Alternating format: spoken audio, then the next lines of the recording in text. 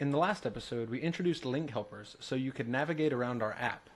Now we'll introduce pages for each topic and extract a topic component. Giddy up! We're starting out with the content catalog repo tagged with before episode 014.4.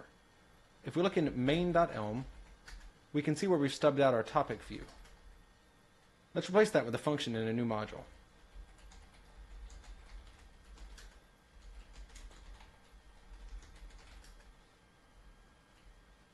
Okay, so we've got a basic topic module. We're just using HTML type and text from the HTML module. And this is pretty straightforward. The only thing that might be weird, um, if you're not following along too carefully, is this is just uh, an arbitrary parameterized type, right? So we haven't specified what type of message it is since it doesn't matter because we don't emit any. All right, so coming over here, the only thing left to do is import topic. Okay, we will go at full screen, and run the reactor and have a look-see. And stuff should still work. And it does. Now we want to introduce a list of topics. Let's do that.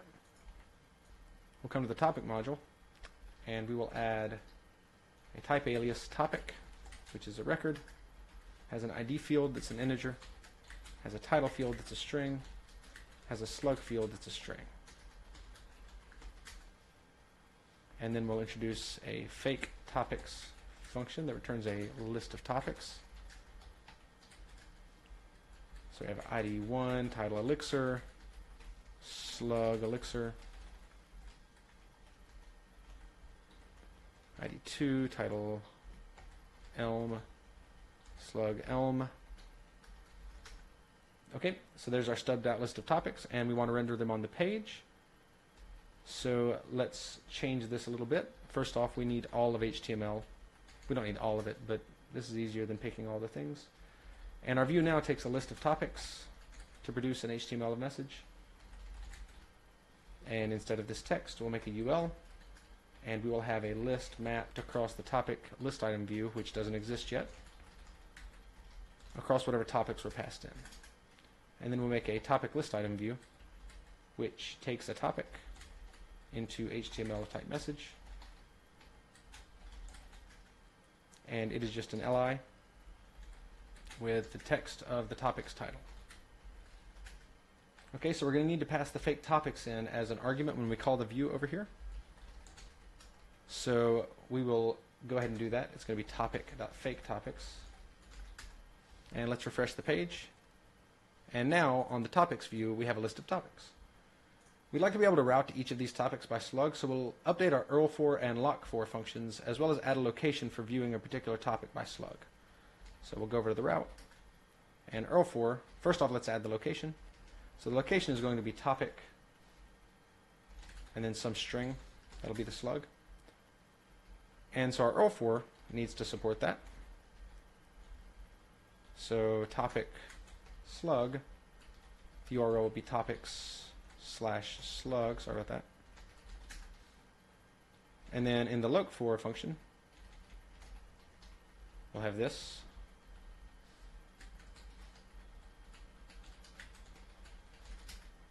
And will this compile? It will not. And that's because Elm is telling us that we ought to actually have a view for this route. So if we look, this is in the main, line 48, that's our view. And it says we don't know how to render the view for this route. So we'll go back to main and we will duplicate this. So just route.topic slug. And here we'll do a topic topic uh, view topic, sorry. We'll pass the slug as well as the list of topics across for now. And of course, we can try this out and the compiler will tell us, hey, there's no such view. So let us make a view topic function in the topic module view topic takes a topic. Sorry, it takes the slug, which is a string, and a list of topics, and produces an HTML type message. So it gets the slug and the topics. So we'll find the current topic. We'll do that by using list.filter. Look for a topic whose slug is the same thing as the slug that was passed in, and we'll look across all the topics. And then we'll just take the head of that list. And so, oops, sorry. And so since that's list.head, it'll be a maybe. So we'll do a case current topic of, in the event of nothing, we'll have text topic not found. But if it's just a topic, then we'll render some text that says this is the topic.slug topic. Okay, so now if we visit this, it should work. Yep. And so we can explicitly go to topics slash elm, and we can see this is the elm topic. Obviously, we should be linking to it though, so let's come to the topic list item view. And instead of just this text here, we will use the link function that we had from before. It'll link to route.topic, topic.slug, with the text topic.title. And this would almost work, but it's not going to because the link function is in main, and we can't just import main to get access to the link function. So for now, we're going to go to main, and we'll take the link function, and we'll extract it to some helpers. And so I'm going to go ahead and import them. Import helpers exposing link. And now we'll make a helpers module. It needs the route. It needs HTML with at least HTML, A, and text. It needs HTML.attributes because it needs href. And that should do it. And let's go back to the topic, and we'll want to import helpers. Exposing link. And with that, everything should work. And it can't because I've got a message where I should have a message. And it doesn't know about route.topic. What is that now? Oh, right, because this is not route.topic. This is... No, it should be route.topic. Sorry. We need to import route as well. Now it all works. So we'll go to the topics. We can click through into different topics. And we've got nested routes.